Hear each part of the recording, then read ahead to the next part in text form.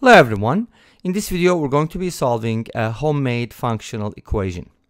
We have f of xy equals f of x to the power y multiplied by f of y to the power x. And x and y are non-negative real numbers. Great. Um, we could probably just say, hey, let's define this for positive numbers. That's probably going to be safer because we're going to be doing some division and we don't want x and y to be zero in this case. Anyways, we have this interesting equation that I kind of thought about and then how do we solve for f? In other words, we need to find an expression for f of x in terms of x. Of course, we'll have some constants, right? No initial conditions, so we're not going to be able to determine what those constants are, but we can look at some specific cases. Anyways, Let's go ahead and start by bringing these powers down. How can we do that? We can actually log both sides. And in this case, I'd like to use the natural log, which is ln. Let's go ahead and ln both sides.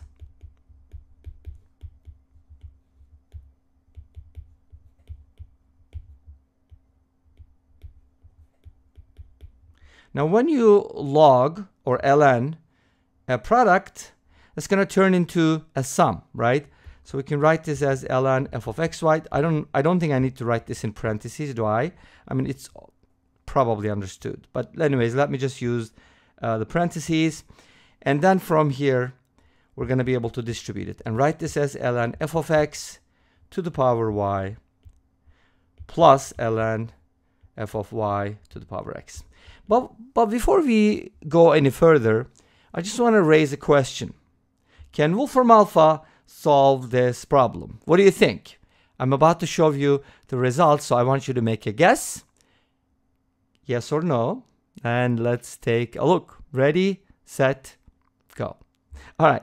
So this is what I got from Wolfram Alpha. Apparently, it cannot solve this problem. That's why artificial intelligence is kind of like a hype at this point, I think. It can't really solve some math problems like these, like functional equations. Uh, by the way, it's not just uh, based on one observation. I've asked ChatGPT a bunch of functional equations and it couldn't solve it. Just gives you some stuff, it spits out some stuff that I learned from the internet, whatever, but it's still not there yet. So for a while, I think we're gonna be good. Anyways, so let's go ahead and take it from here and see what we can do with that. Now we have this ln think. I could probably just take it and kind of move it down until I bring it to a point where I want it to be like. So let's go ahead and move this down here. So you see, being lazy again, I don't need to, I don't want to write it again. Okay, so that's my expression now. And what am I going to do? I'm going to go ahead and work it out. Now at this point, it doesn't look, make much sense because I have the ln's on both sides. So what? But remember, our goal was to bring these down. So let's go ahead and do it. ln f of xy equals y ln f of x plus x ln f of y.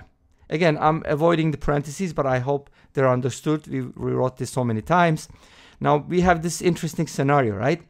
So with functional equations like these, we kind of want to turn it into uh, something in which we can use substitution, okay? So how do we do that? By using some tricks. Remember, I kind of mentioned that we were going to use division. So how do we use division? Well, the presence of xy here kind of gives me a clue. And of course, I also have a y here and an x here. So I think dividing both sides by xy would be a good idea. Of course, it's for easy for me to say that because I, I kind of came up with the problem. I did actually, not kind of, but I came up with the problem and then I know the solution because you just need to work backwards, right? Obviously. But even if you didn't, you could still come up with something like this, you know, after some practice. Anyways, I'm going to go ahead and divide both sides by xy, which involves dividing everything by xy. It's better that way. And then now we're going to see if we can turn it into something more meaningful. So on the left, we have ln f of xy. I know some people are just going to complain about it, so I might as well just write the parentheses. And on the right hand side, notice that the y cancels out and here the x cancels out. Let's go ahead and clean them up. And now we have ln f of x divided by x plus ln f of y divided by y. This probably makes sense when I said, okay, I don't want x and y to be 0, I want x and y to be positive. That also makes sense because I want this from positive reals to positive reals because uh, when you consider ln of f of x, obviously you want f of x to be greater than 0.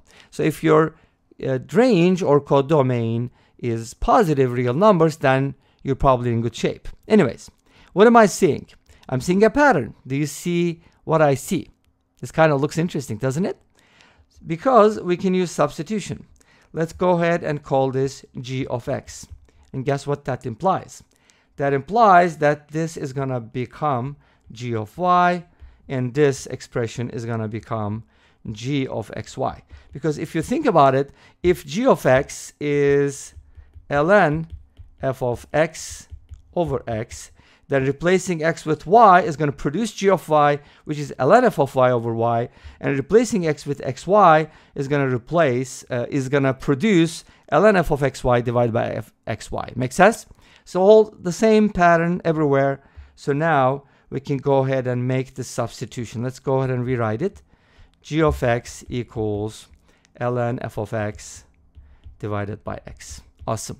Now, we kind of turned it into an easier problem by making the substitution because now our g is actually a lot simpler. Take a look. We get g of xy from here. Let's just follow up. g of xy on the left equals g of x plus g of y. Don't you love that? And do you recognize this? Does this look familiar? I hope it does. It should because it's one of the Cauchy's functional equations. So you should immediately say Cauchy, yay. Okay, now G turns a product into a sum. So here's my quick multiple choice quiz or question. What kind of function does this? Okay, A, exponential, B, polynomial, C, logarithmic. What do you think?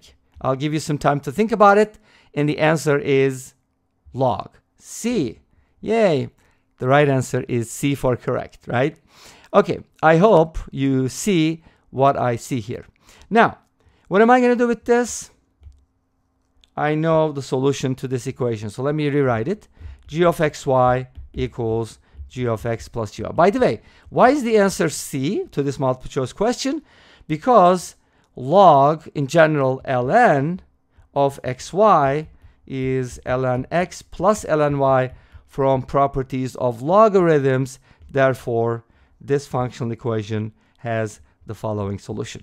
But wait a minute, does it have to be just ln x or can it be something else? And the answer is yes, it can be something else. Like more generally, g of x can be k times ln x because when you introduce the co constant on both sides, it's going to cancel out. Of course, k should not be 0, then you're going to be getting the 0 function, which is not a good idea in this case. Okay, so what does that mean? g of x is equal to k ln x, but what is g of x? It's ln f of x divided by x. From here we get a beautiful equation. Let's go ahead and work it out. So this gives us ln f of x. If you do the cross multiplication, you get k x ln x and now we can go ahead and move this up as a power that gives us ln f of x. And why do we do that? Because we want to end up with ln equals ln. Make sense? So now this gives us ln x to the power kx.